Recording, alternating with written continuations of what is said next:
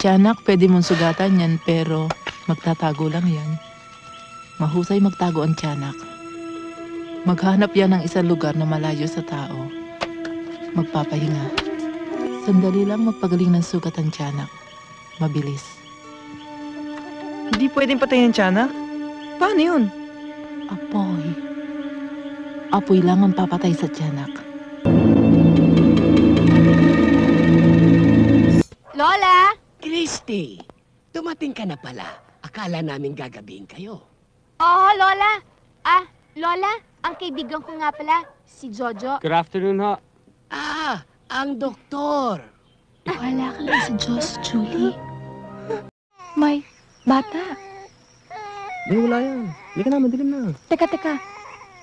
Hanapin natin. At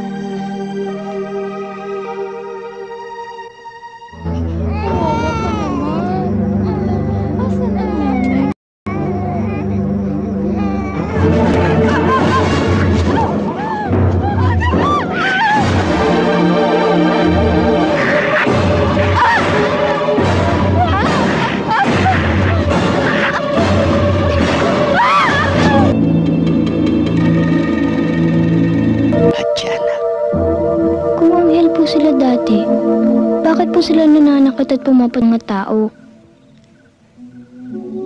Dahil sa inggit sa tao. Sa lahat ng nilikha ng Diyos, ang tao lamang ang pinagpala na makarating sa langit.